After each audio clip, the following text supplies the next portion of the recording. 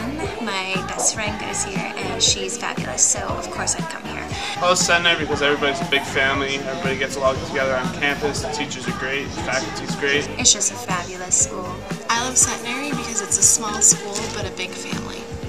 I love Centenary because you can walk around campus and you can see all of your friends and you can see people from your class and everyone gives a nice friendly smile. We love Centenary because of the women's Centenary soccer team and all the friends that we've made. And the great food. Uh, it's because of late night.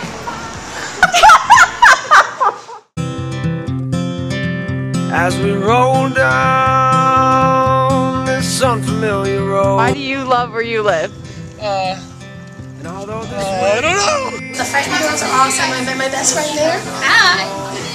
Um, there's a lot of activities to get involved in. It's great, and I love my best friend.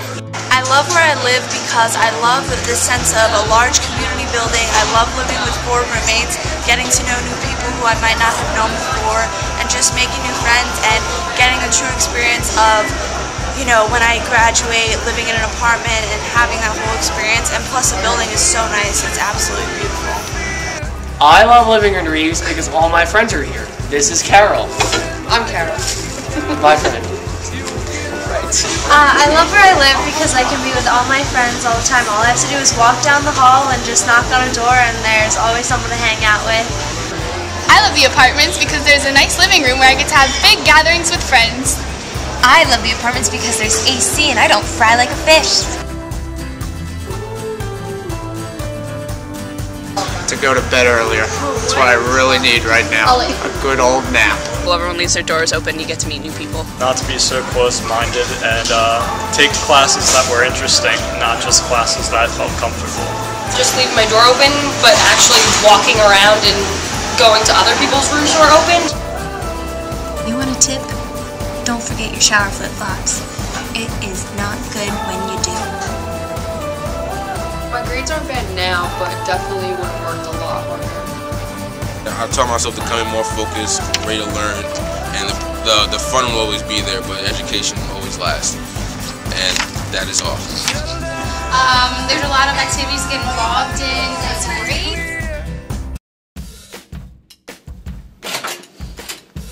Welcome to Centenary College Student Life Office. Our friendly staff is willing to help you with whatever you need.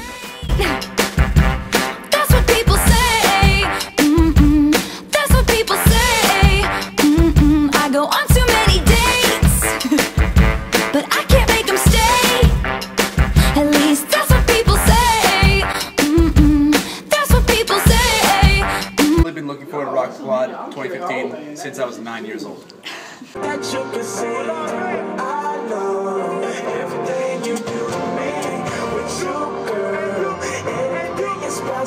for Rock the Quad, what I'm looking forward to is the fact that we get to have a time where we get to be stress-free, relax, listen to music, just and also interact with other people we might not have interacted with.